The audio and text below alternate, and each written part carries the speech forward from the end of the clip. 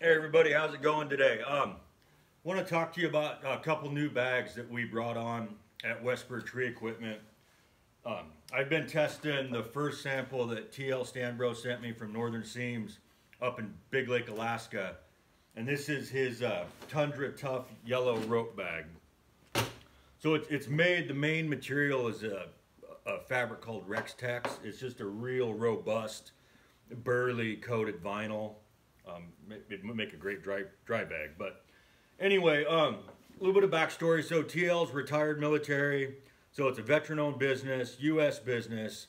And anybody that knows me, I'm a big advocate for small local businesses, also veteran-owned businesses, as well as I'm a firm believer in buy once, cry once. I love high quality equipment and I'm not above paying the money to get that. Um, that being said, these are not inexpensive rope bags. They they cost more than five dollars, but they're well, well fucking worth it. So, kind of some of the features. This was the original sample, so I've been beating on this for nigh on ten months.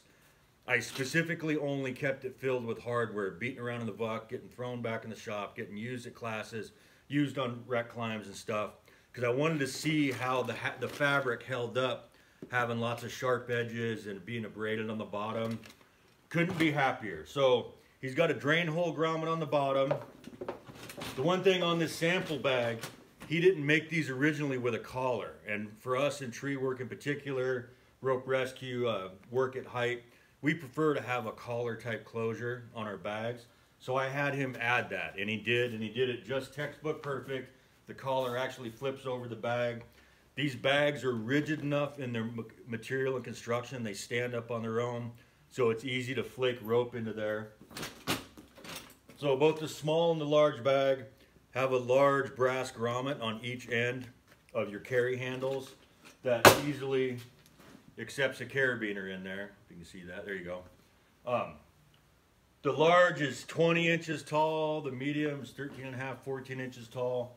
I can no problem get 175 feet of 11 millimeter rope in the small. And right now I've got 300 feet of uh, 7 16 HTP in here. Um, I think I could get another 200 for sure. I could squeeze in 300. So, but we'll call the official uh, TL's rating is 300 feet a half inch, no problem. In this one, 150 feet a half inch in here. Like I said, I'm certain I can get 500 feet of 11 mil in this bag. So just really robust bags. It's got a, a simple drawstring closure that you're just going to cinch down and finish with a half hitch. So that's the Northern Seams Tundra Tuff bag. Couldn't be happier. Um, TL does super high quality work. Um, and go check them out on the Instagram rig. It's at Northern Seams. You'll see a video where he hucked one of these from about 20, 25 feet up with 40 pounds of chain in there. And as expected. Um, I would put these on par with those indestructible uh, Spectra bags that we can no longer get. Not quite that tough, but right up there. So he did everything right with these. Very high quality construction, available only at WesSpur Tree Equipment, and gives you another opportunity to support a veteran in his second life as a civilian. Thank you and have a great day.